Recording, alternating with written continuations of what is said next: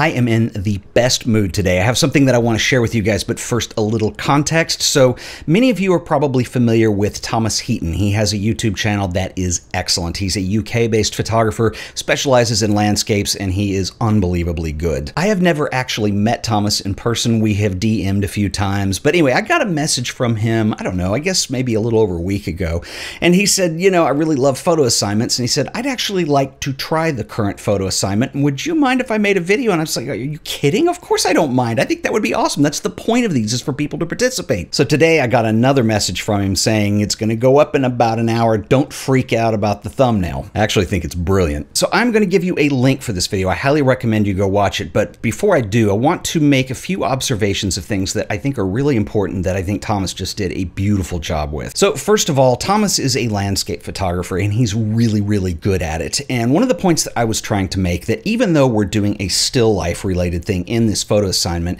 there is a way to think about light and a way to see things, and he accentuates that point perfectly. I remember a couple years ago, I went out with my friend David Brookover that I did the artist series with, and actually got to go shoot with him for a day when he was in Fort Worth, and it was really interesting observing the way he reacted to things. In fact, I think on that day, David didn't shoot more than he actually did shoot. He was really picky and being decisive about what was available, what would work, what wouldn't work, and whether we had time to wait for something. And that's really important to understand because whether you're shooting landscapes or whether you're shooting tabletop setups like we're, we're doing for this assignment, there's really less difference than it seems there's going to be, if that makes sense. It's like it's really all about light and it's really all about the same thing. Now, I don't want to give away too much of this because Thomas did such a great job of communicating his thought process in the video, but I do want to note that he actually went through and did all the parts of this assignment that I've given so far. So actually going and shooting what the window light is doing throughout the day and having an understanding with that, then using that to inform the next step, which is actually going to be looking at the details and trying to copy Sudek's work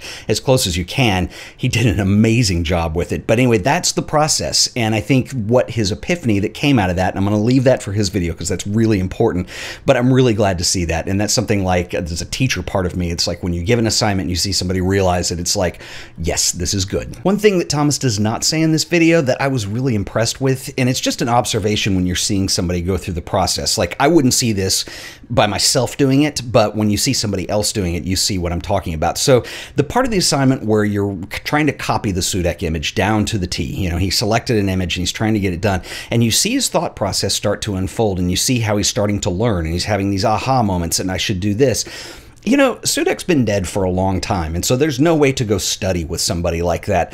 But there's this kind of weirdness that, I mean, it's not weird, it's really cool. And it's one of the most beautiful things about photography, and it's one of the reasons I'm so attracted to it, because it's about visual communication. And now what I'm seeing is Josef Sudek visually communicating a lesson through Thomas while he's trying to put this together, and I thought that was really cool. And finally, I want to just say that I was really flattered when Thomas reached out to me and said he wanted to participate in this. This is somebody that I've looked up to for a long time. I've subscribed to his channel for years now.